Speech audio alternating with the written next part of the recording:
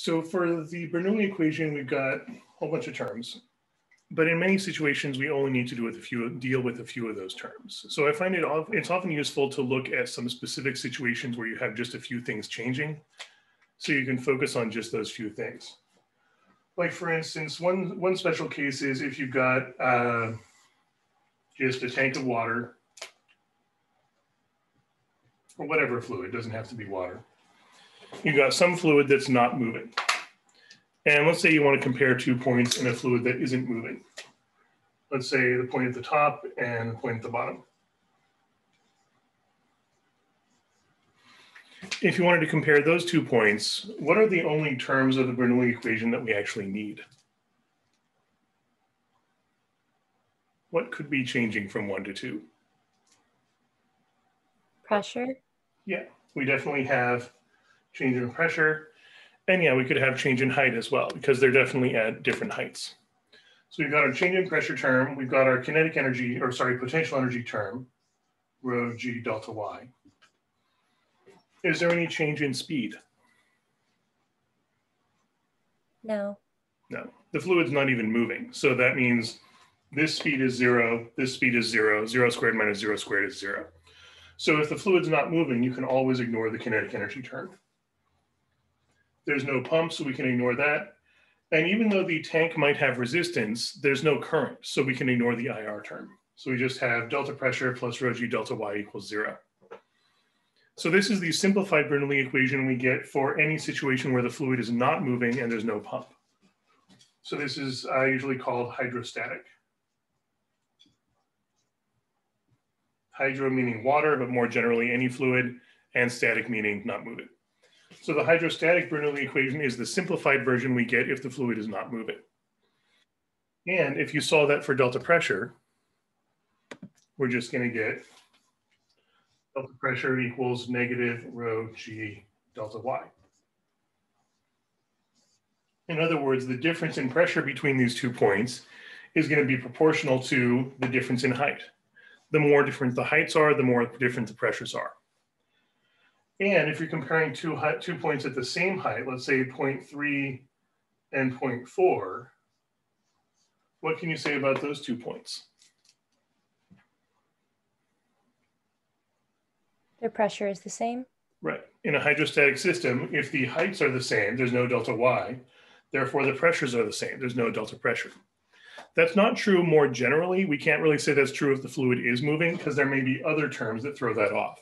But if the fluid is not moving, then same height means no difference in pressure either, because the difference in pressure is proportional to the difference in height. And then the constant in proportionality involves the density of the fluid and the strength of gravity.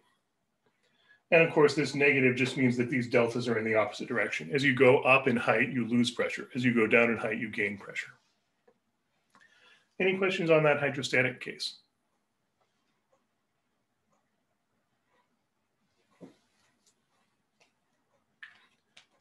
So let's take a look at uh, what happens if the fluid is moving.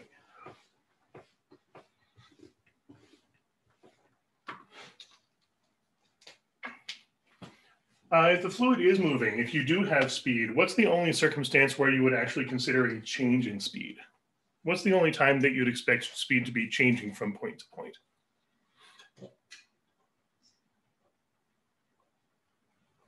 Would that be if you have a pump? Uh, pump doesn't directly cause a change in speed. The pump would allow this term to be there, but that doesn't cause the speeds to be different. But yeah, the area changing is the important thing. If you've got a pipe, let's say a strangely shaped pipe with a changing cross-sectional area, and you're comparing two locations in that pipe, let's say point one and point two. Actually, let me redraw that so that we have no change in height. So we don't have to worry about other things changing as well. Let's say we've got a pipe that's a constant height on average. We're literally looking at the height of the center. So the height of the center is not changing, but with definitely a change in area. And let's say we want to compare this point and this point. And let's assume that fluid is flowing here.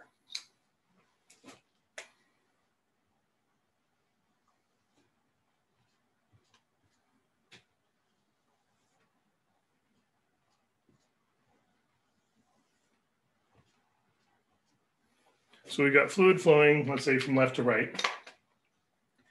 And we want to write out a Bernoulli equation comparing one to two. Uh, generally, I would recommend including delta pressure no matter what, unless you know for sure that the two points are at the same pressure. Like for instance, if both points are exposed to open air, then they both have to be at atmospheric pressure. So in that case, you would ignore delta P.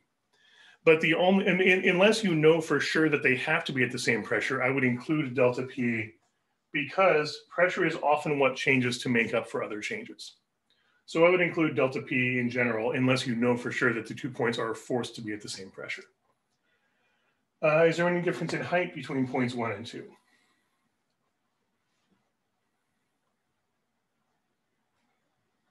So we can ignore that. They're both at the same elevation. There could be a difference in speed though, because they have different cross-sectional areas.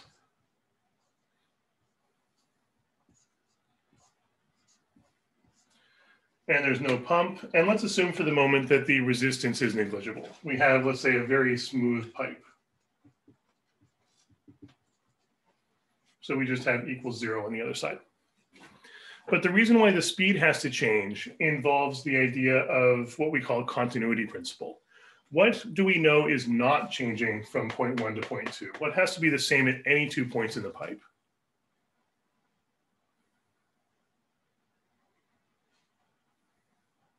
The flow rate, right. In other words, the current. The current is the same everywhere in the pipe.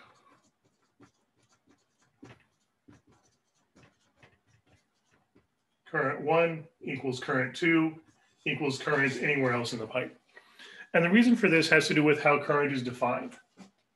Current is a flow rate, a rate of change.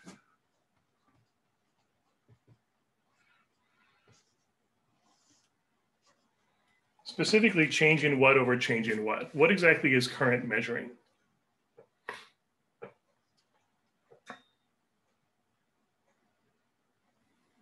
How would you describe how much fluid has flowed?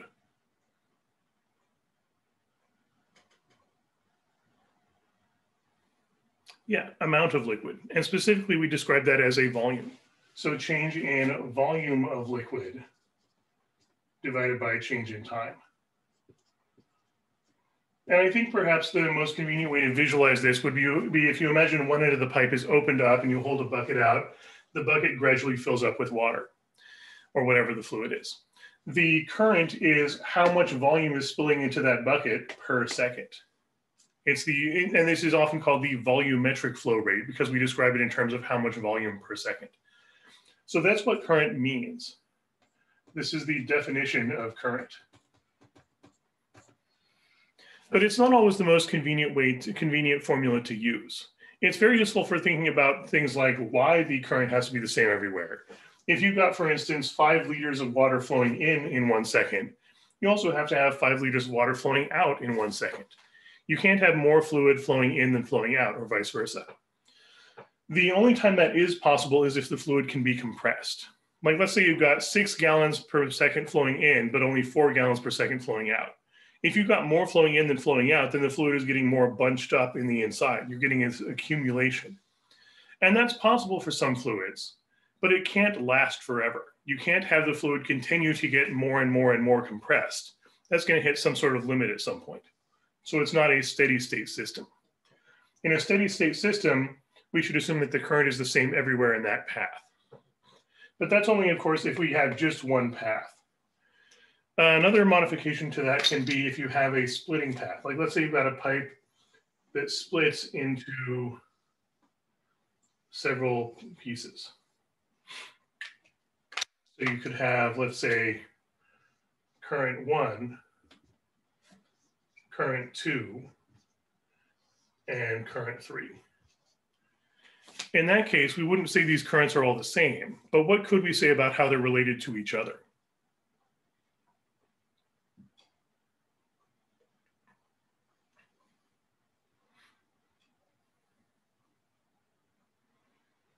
If you've got a certain amount of fluid flowing in, like let's say you've got every second five gallons flow in, yeah, the other currents have to add up to the current going in. Current in equals current out. So in this case, I1 equals I2 plus I3. We still have the basic idea that the current flowing in equals the current flowing out. It's just that the current flowing out is split up into two subcurrents. So more generally, we would say the total, the sum of current flowing in equals the total sum of all current flowing out. And you can treat that as a statement about a region. If you draw out any region, no matter how weirdly shaped or squiggly, if you just draw some region, some border, the total amount of current going into that region has to match the total amount of current going out of that region. This is usually called the principle of continuity.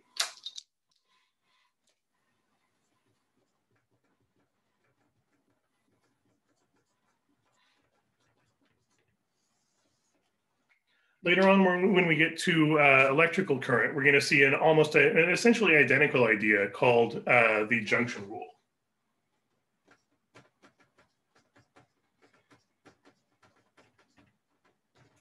So for fluid flow, it's usually called the continuity principle. For electrical flow, it's usually called the junction rule or sometimes Kirchhoff's current law. But it all means the same thing. Total current flowing in has to equal total current flowing out in a steady state system. However, there's another formula we could use here. Current is defined as volume over time, but what else does current equal? What's another way of writing the formula for current?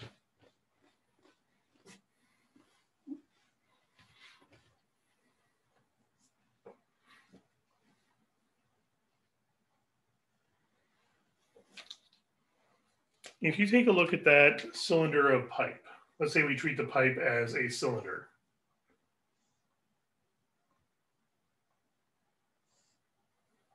And you've got fluid flowing through.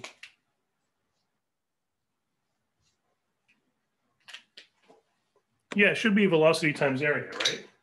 And these are actually the same thing. The, the, they certainly look like different formulas. So current equals, current is defined as change in volume over change in time, but also happens to equal area times speed, small v for speed, as opposed to volume is usually capital V. I usually just write out vol or volume to avoid the confusion. But the reason these end up being the same, if you have a cylindrical shape, how would you write out geometrically, how would you write out the volume of that shape? How do you calculate volume of a cylinder like that?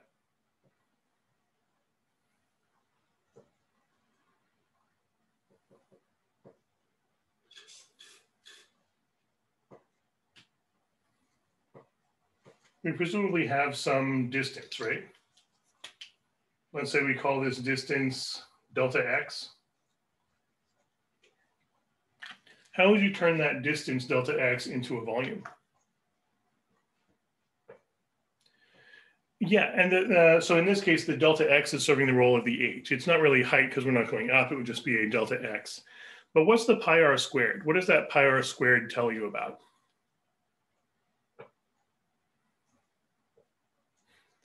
Specifically, what aspect of the circle?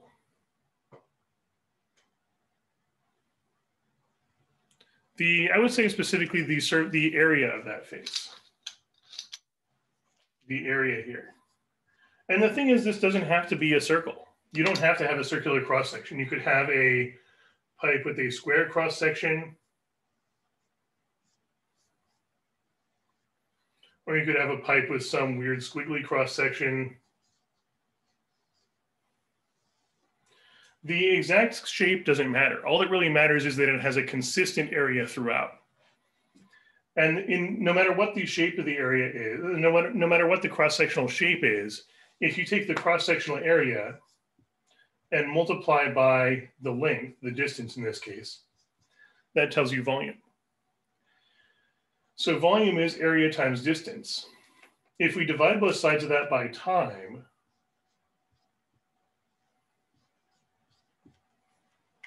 Volume over time is the definition of current. But if we split up the other side a little differently, area times, what do we call distance over time?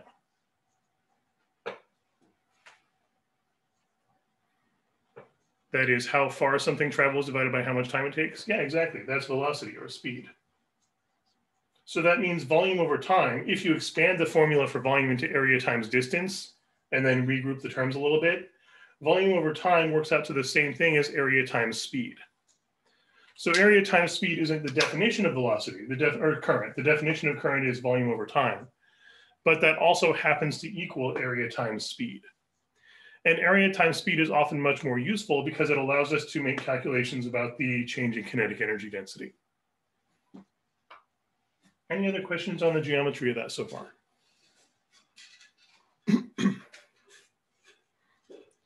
So let's take a look at how that ties into the continuity principle.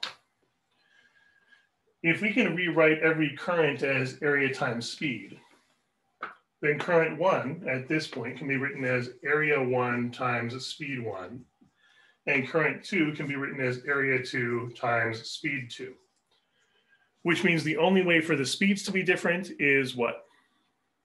What's the only way this, the speeds could be different here?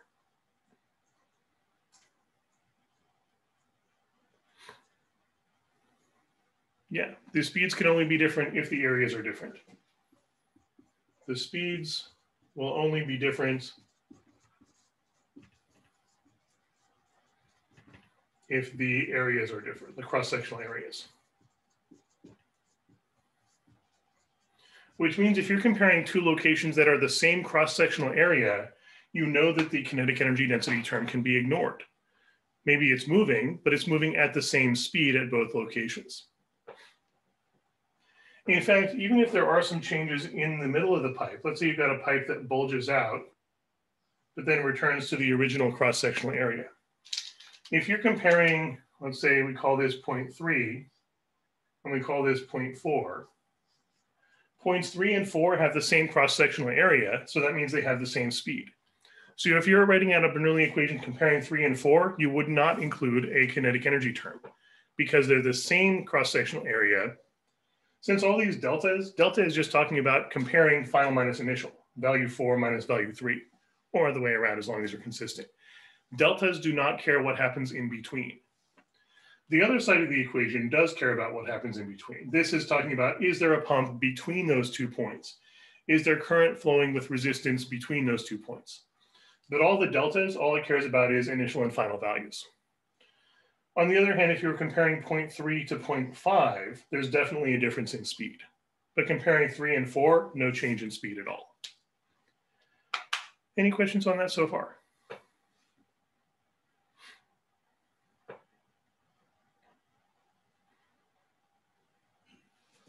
So in this case, point one is a small cross-sectional area, point two is a larger cross-sectional area. So which one is going to have a faster speed?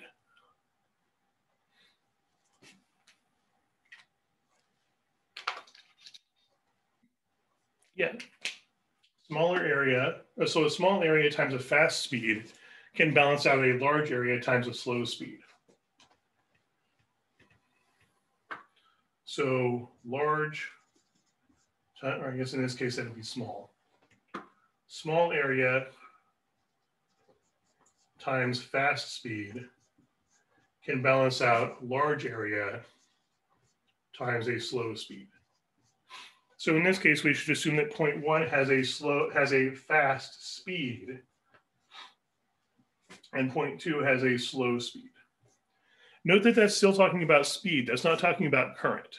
The difference there, they're both uh, ratios of time, or rates with respect to time. But speed is talking about how far something travels as time passes. Uh, current is talking about how much fluid flows as time passes.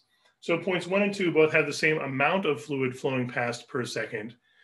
But at point one, the fluid is moving a large distance each second. At point two, the fluid is moving a, a shorter distance per second. So that's the big difference here. However, kinetic energy density involves speed, so that actually does play a role in this term. So let's say we're talking about from one to two. From one to two, is the speed increasing or decreasing? Yeah, we've got a decrease in speed. So delta speed squared would be negative. If we're thinking of this as final minus initial, two minus one. But if we've got a negative change in speed squared, what has to be happening to pressure?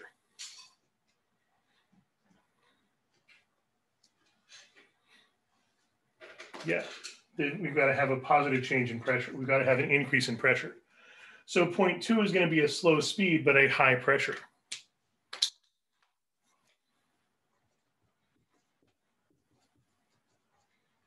Can you explain again why it's a high pressure? Yeah, we know these changes have to add up to zero. That means they have to be equal and opposite. So oh, yeah, I got it. Never mind. Thank you. increase in pressure. Uh, whereas point one is going to be at low pressure. So that's something to watch for. If the only difference between two points is cross-sectional area, then the wider region is going to be slow speed and high pressure. The narrower region is going to be fast speed and low pressure because it's got a lot of kinetic energy density, but to balance that out, not as much pressure, since pressure also counts as an energy density. And you can see this to some extent if you're looking at a lot of real world situations with a, a pipe or a hose or whatever getting narrower like for a river, for instance, if you've got a wide river that suddenly gets narrower, what happens to the river in that narrower region? It gets faster. This is where rapids come from. The wide river getting narrower, all that water has to be passing through a much narrower region. So it's got to go faster to keep up. So you're going to have some rapids in that section of the river. Or if it widens out again, it gets much more slow, much more just gradual flow still the same total amount of gallons of water per second, but the speed is different because it has to go through a wider or narrower aperture. Uh, same thing with, for instance, let's say you've just got a garden hose and you put your thumb over the end. What's going to happen to the flow at that nozzle if you put your thumb over the end?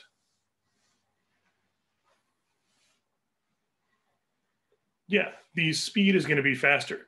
You're still getting presumably the same uh, flow rate, the same amount of gallons of water per second, but by pinching it off, mostly, but not entirely, you're forcing it to go through a narrower opening.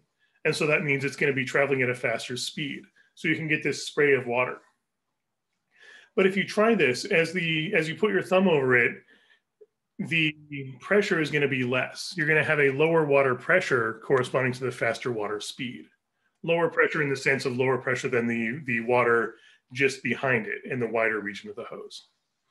So narrower aperture means faster speed and also lower pressure. Any questions on that so far?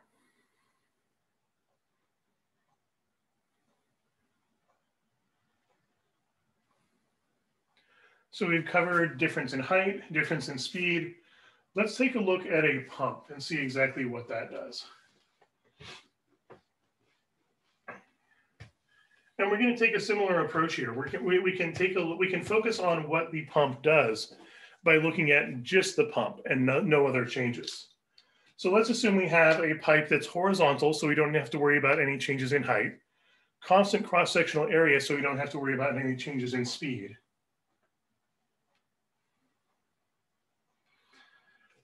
And let's say we have a pump, which is often drawn in the diagram as just a circle with sort of an asterisk in it. Is it supposed to represent, I think, like a, a shape of a fan? Because one way to design a pump is to just have sort of a fan shape in the in the pipe spinning around. So pulling on one end and pushing on the other end. That means a pump does have directionality. A pump is pulling on one side and pushing on the other side. So let's say the pump is pushing this way. Usually that'll be shown as an arrow on the diagram, or sometimes it's intended to be clear from other information. But if we're comparing two points here,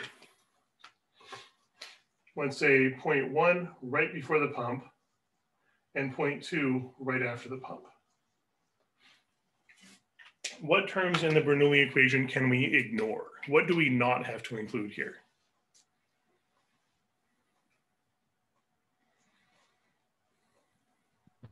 Gravitational potential. Right, there's no change in height, so we can ignore gravitational potential. Also, we're assuming constant cross-sectional area. So what else can we ignore? Right, we can ignore kinetic energy. And I know it's very tempting to think that the pump, to, to think that the pump makes the fluid go faster. And it is true that the fluid with the pump is going to go faster than the fluid would without the pump. But we're not comparing to what would happen without the pump. We're comparing what's going on at location one and what's going on at location two. And we know that these two points have to have the same speed as each other because they have the same cross-sectional area. We still have the same current going in and out. We've got some current going in and some current going out. And because of continuity, current one equals current two. The pump does not cause one side to have more current than the other because the pump is not creating fluid. The pump is just pushing through the fluid that's already there.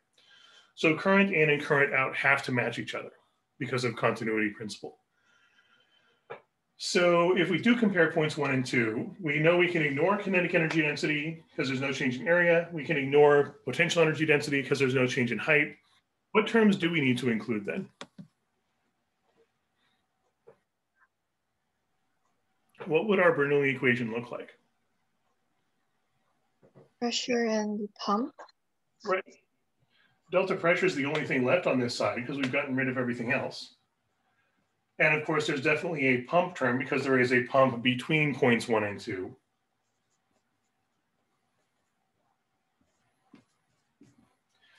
And there is current flowing. Should we consider this pipe to have resistance?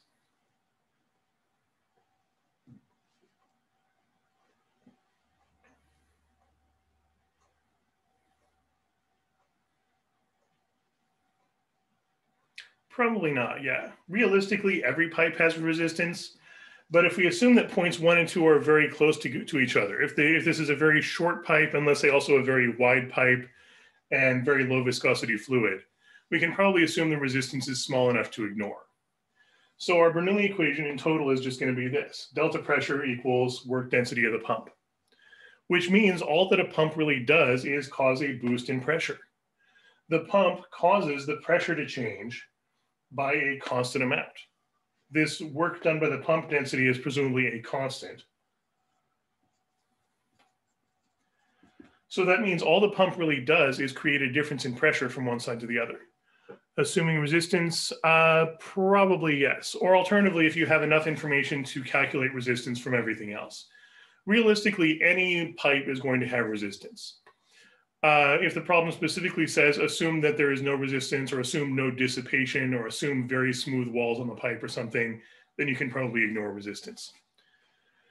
Uh, but realistically, every pipe has some resistance. It's just that in many cases, we might be able to set things up so that the resistance is small enough we can ignore it. Such as in this case, we're assuming no, uh, essentially no resistance. Uh, we are including current. It's just that the current is being multiplied by resistance and we're assuming resistance is so small it rounds off to zero. Let me actually write that down. Assume negligible resistance.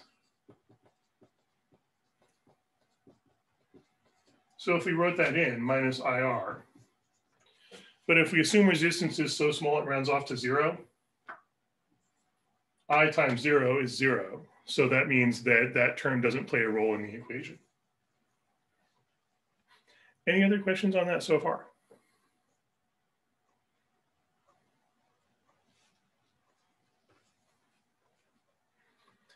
So what I want to emphasize here is that all the pump does is provide a boost in pressure.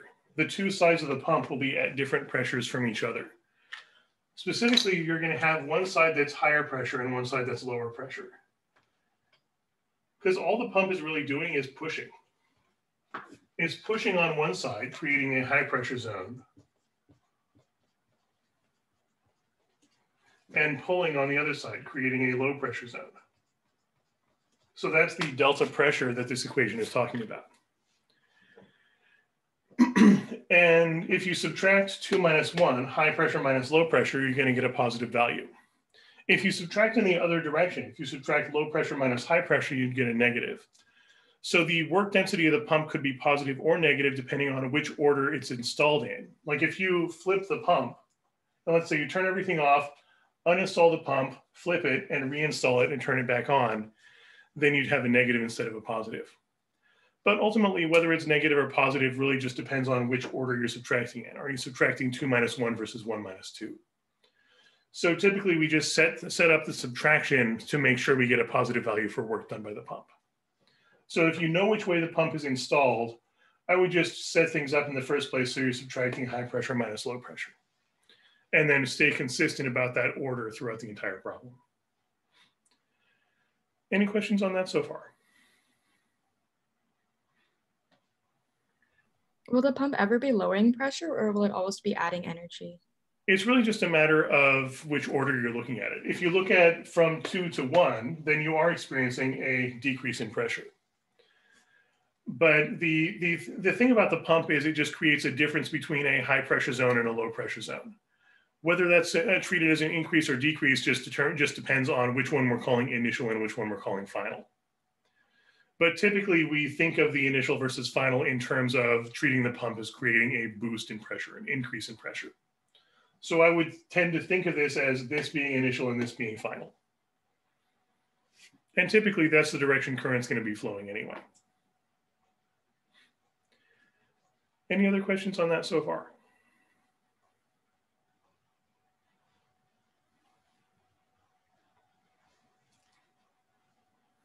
So the pump provides a constant boost in pressure. There's constant difference between a low pressure zone on one side and a high pressure zone on the other side.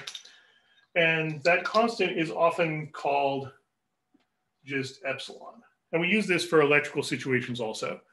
Uh, in an electrical circuit, what would be providing that constant boost, much like a pump is for fluids? Yeah, a battery is the electrical version of a pump. A pump is providing a constant boost in pressure. A battery in an electrical circuit is providing a constant boost in voltage, which is basically the electrical version of pressure. So just like a, a pump provides a difference between a low pressure zone and a high pressure zone on the other side, a battery provides a difference between a low pressure, low voltage zone on one side and high voltage zone on the other side. So we'll look into that in more detail when we get to electric circuits. But either way, it's just providing a constant boost to, in the case of fluids, pressure, in the case of electrical stuff, voltage. Uh, but let's take a look at a current or a current flowing through a pipe with resistance as well. So now let's ignore everything except resistance. Let's assume we've got no pump, no change in height, no change in cross-sectional area. We've just got some section of pipe with resistance.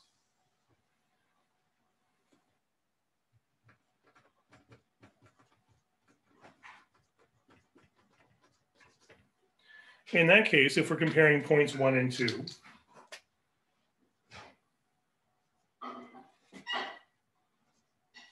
and let's assume current is flowing from one to two.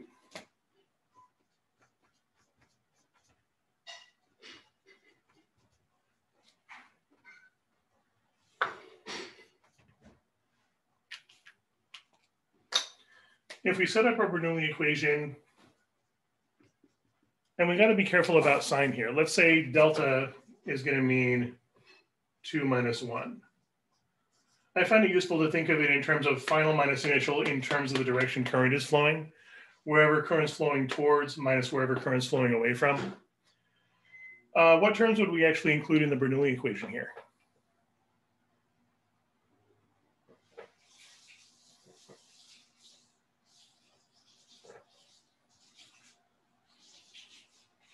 Yeah, we're definitely going to have the minus IR term. There's no pump, so we can ignore that. Uh, the thing is, there might be a pump somewhere else. This might be, this pipe might be connected to more pipes that have a pump somewhere else.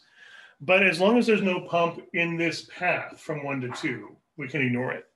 Because this side of the equation is talking about stuff between those two points along the path that we're talking about.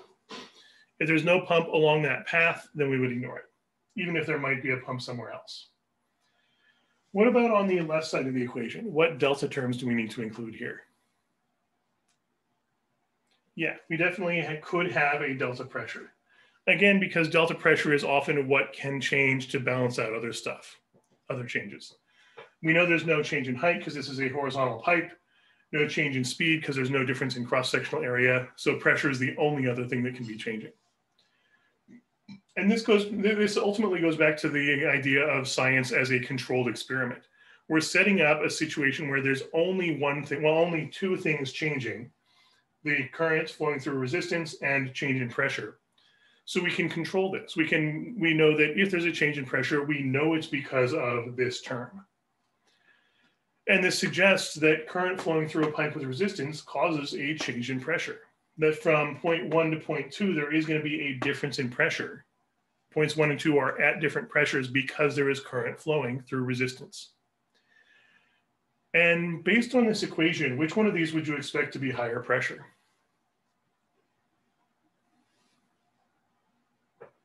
Yeah, one is going to be higher pressure, two is going to be lower pressure. Because what do we know about this delta pressure here?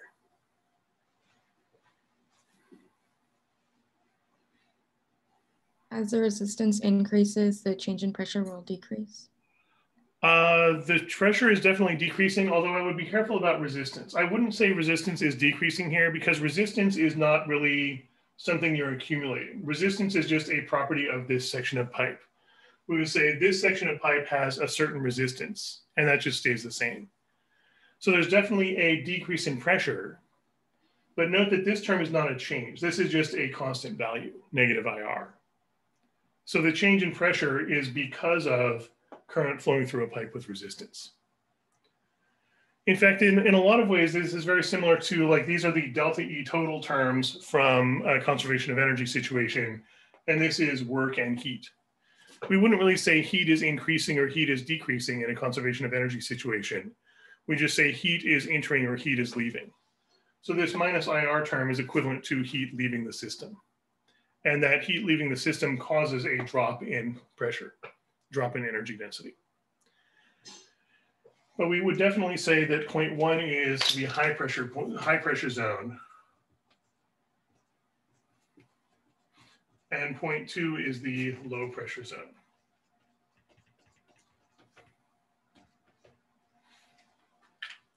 In other words, current is flowing from the high pressure zone towards the low pressure zone. And there are a couple of ways you could think about this. We, I mean, ultimately, this is just that the decrease in pressure is related to the current flow. You could think of this as the flow of current through resistance causes a drop in pressure. Or the other way around, you could think of it as the difference in pressure pushes current through. The difference in pressure is what's causing the fluid to flow. In fact, if you solve this for I, what would you get?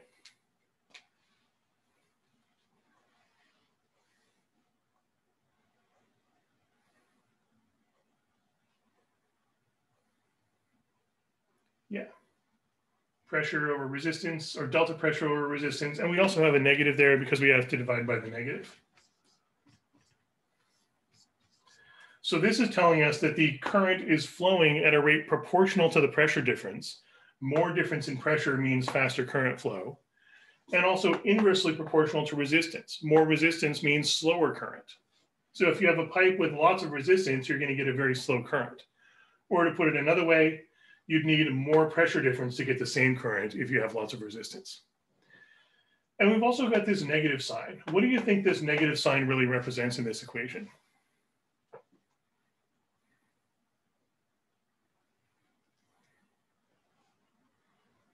Why do we have a negative sign there in the first place?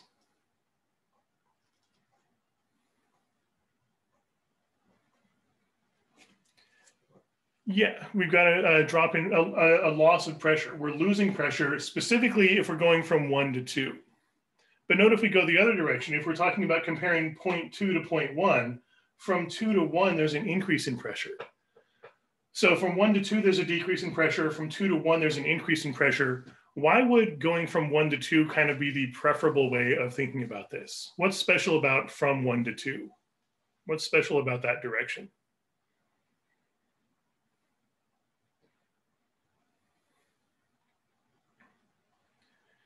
It is subtracting, uh, it's going from high to low, but specifically that's also the direction of what? Yeah, that's the flow of current itself. So in the direction current is traveling, we get a decrease in pressure. If you're looking at it the other direction, if you ignore the what's going on inside and just say, let's say we instead of subtracting two minus one, let's subtract one minus two.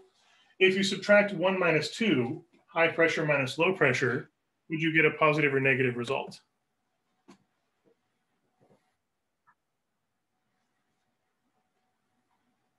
if you're subtracting a high pressure minus a low pressure, what would you get?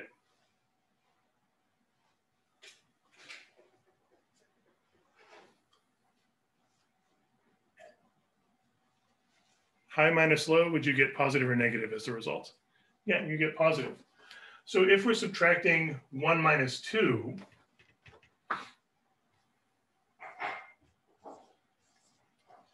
one minus two, high pressure minus low pressure, Delta pressure would be a negative, or sorry, a positive, because we're taking high pressure minus low pressure. What does that tell you about this side of the equation?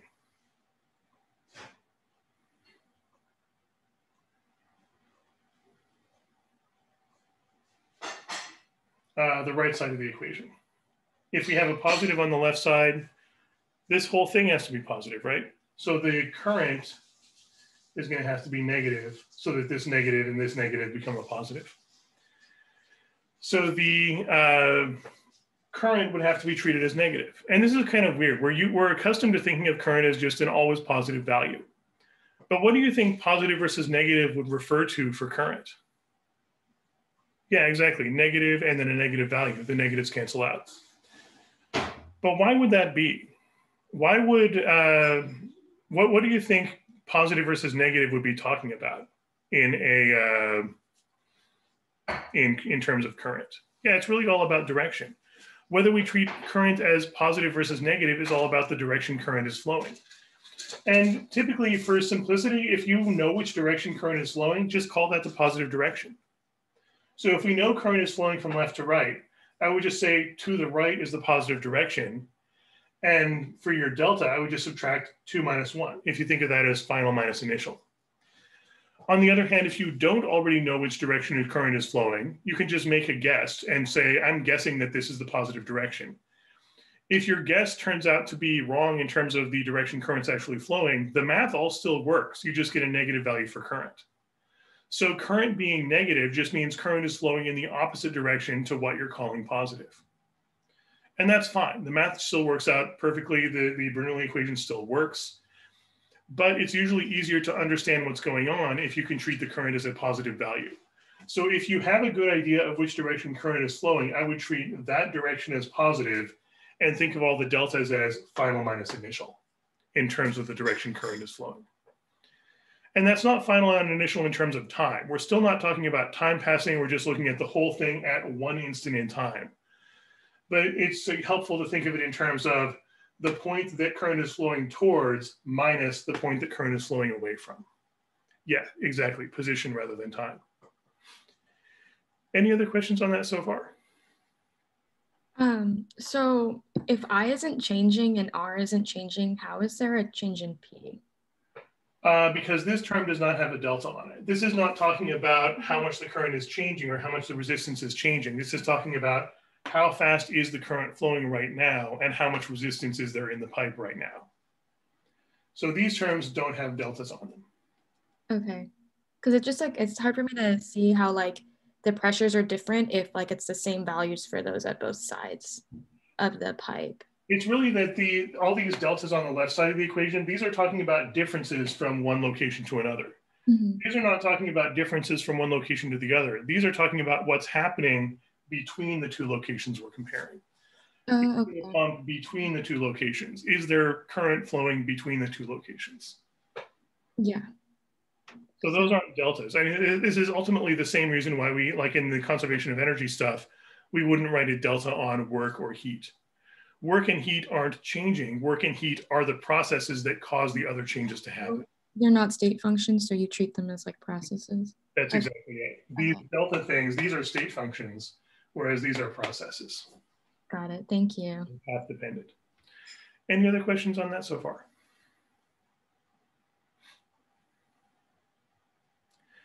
And again, you could think of this in terms of the difference in pressure is forcing current to flow. And the more different the pressures are, the faster current is going to flow. Or you could think of it as the presence of current causes a difference in pressure. And the faster current is flowing, the more different the pressures are. So either one of those is valid. th- Those are both valid ways of thinking about pressure and current. The important thing is they're both happening. There is a difference in pressure and there is a current flowing, and they're proportional to each other. The faster current is flowing, the more difference in pressure there is, and vice versa. And then resistance is just a constant of proportionality associating those two together. More resistance means it takes more delta pressure to get the same current. Or to put it another way, more resistance means the same current will get you a larger difference in pressure.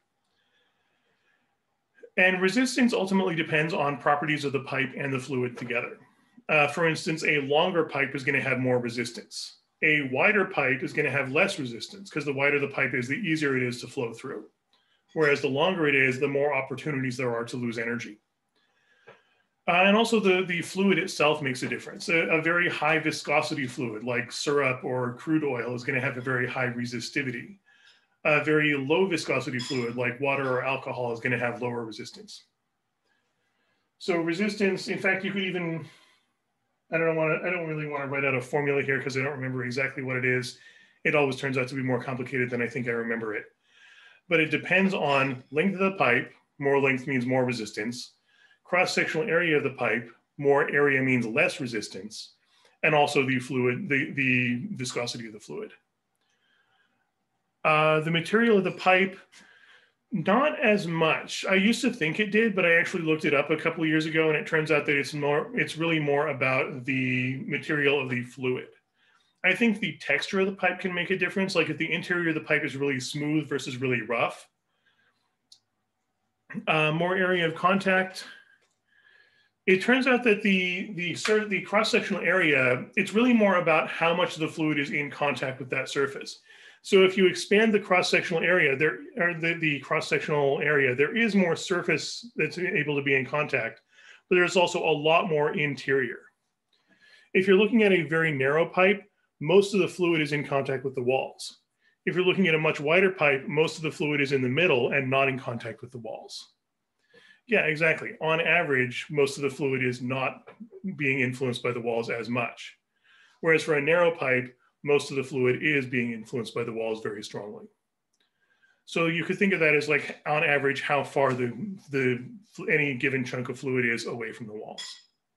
Very wide pipe and the fluid, the walls are hardly influencing the middle at all. The middle can go very fast because it's not near the walls. The edges are moving more slowly because they're being held back by the walls. And that, that idea that the edges are moving more slowly and the interior is moving more quickly is typically called laminar flow, uh, laminar flow. And that's the type of flow we're assuming everything's going at here. If the fluid goes really fast, then the stuff near the walls sort of kicks back on itself and, and causes more interference with the water going in the middle, and that's called turbulent flow. Uh, but laminar flow is what we're assuming everything's doing here. Any other questions on that?